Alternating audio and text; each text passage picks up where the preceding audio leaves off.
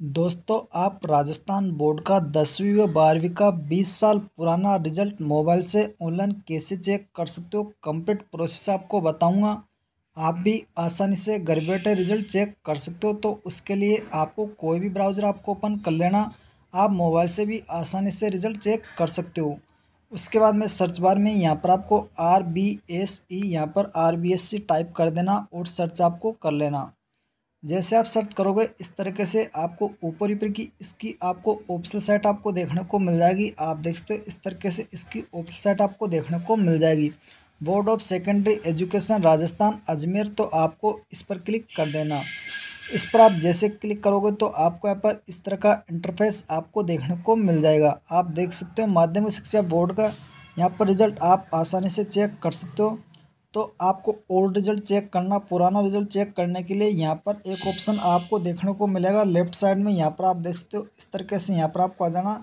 यहाँ पर आने के बाद में ओल्ड रिज़ल्ट वेरिफिकेशन इस तरीके से ये ऑप्शन आपको देखने को मिलेगा। आप देख सकते हो ओल्ड रिज़ल्ट वेरिफिकेशन तो आपको ओल्ड रिज़ल्ट वेरिफिकेशन इस पर आपको क्लिक कर देना। इस पर आप जैसे क्लिक करोगे, इस तरह का इंटरफेस आपको देखने को मिल जाएगा। यहाँ से आप दसवीं का व बारहवीं का रिज़ल्ट आसानी से निकाल सकते हो। रिज़ल्ट निकालने के लिए सेलेक्ट ईयर इस पर आपको क्लिक कर देना तो आप देख सकते हो यहाँ पर 2001 से लेकर और यहाँ पर आप देख सकते हो ऊपर कब कब का यहाँ पर रिज़ल्ट आप निकाल सकते हो 2021 तक आप यहाँ पर रिज़ल्ट निकाल सकते हो यहाँ पर आप देख सकते हो तो जिस भी ईयर का आपको रिज़ल्ट निकालना है यहाँ से आपको सेलेक्ट कर लेना जैसे मैं यहाँ पर इस तरीके से यहाँ पर ईयर यहाँ पर सेलेक्ट कर लेता हूँ जिस भी ईयर का आपको रिज़ल्ट निकालना इस तरीके से आप यहाँ पर आपको सेलेक्ट कर लेना यहाँ पर सारे के सारे ईयर आपको यहाँ पर देखने को मिल जाएँगे ईयर सेलेक्ट करने के बाद में यहाँ पर आप देख सकते हो सेलेक्ट एग्ज़ाम यहाँ पर आपको देखने को मिलेगा अगर आपको। सेकेंडरी दसवीं मेन का निकालना, इस पर आपको क्लिक कर देना। सेकेंडरी अगर आप सप्लीमेंट्री आए हो तो सप्लीमेंट्री आपको देखने को मिल जाता। उसके बाद में यहाँ पर आपको बता दूँ, इस तरीके से आप देख सकते हो, अगर आपको बारहवीं का निकालना सीनियर सेकेंडरी आप देख सकते हो तो यहाँ पर मेन व सीनियर सेकेंडरी आप देख सकते हो सप्लीमेंट्री यहाँ पर आपको, लिखा हुआ आपको मिलेगा। तो इस तरीके से यहाँ से आपको सेलेक्ट कर लेना, जिसका भी आपको रिज़ल्ट निकालना। जिस सेलेक्ट करने के बाद में यहाँ पर एक ऑप्शन आपको देखने को मिलेगा रोल नंबर का। यहाँ पर आप देख सकते हो साइड में रोल नंबर तो आपको यहाँ पर आपके रोल नंबर यहाँ पर आपको डाल देने, जो भी आपके रोल नंबर है।